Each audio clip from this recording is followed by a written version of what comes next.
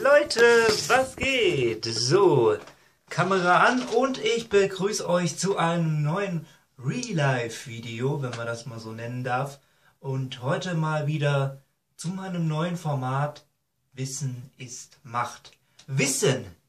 Das war schon in der damaligen Zeit, vor vielen hundert Jahren, vor vielen tausend Jahren, vor Christus, vor Christi Geburt, war es wirklich so, dass Wissen Macht war.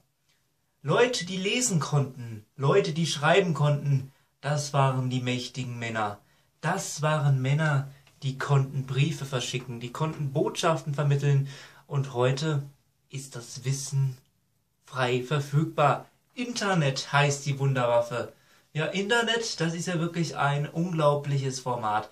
Aber im Internet steht natürlich auch sehr viel Quatsch, viele Lügen und viele Unwahrheiten. Und um dieses Wissen besser zu bekommen, gibt es natürlich verschiedene Seiten, wo man hingehen kann. Das beste zurzeit, wie ich persönlich finde, ist Wikipedia.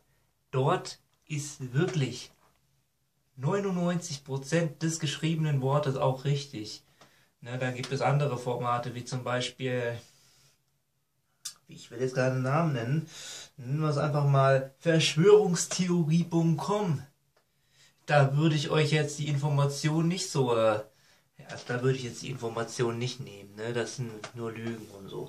Naja, aber wissen, das ist mein Format. Wie funktioniert eine DVD? Wie funktioniert eine Blu-ray-Disc? Wie funktioniert ein Fernsehgerät? Wie funktioniert ein Computer? Was ist ein Mikrochip und was ist da alles drin? Wie funktioniert meine EC-Karte? Diese Themen werde ich ansprechen. Und ich hoffe, ihr bringt natürlich auch viel Interesse mit, weil das auch mein neues Projekt wird.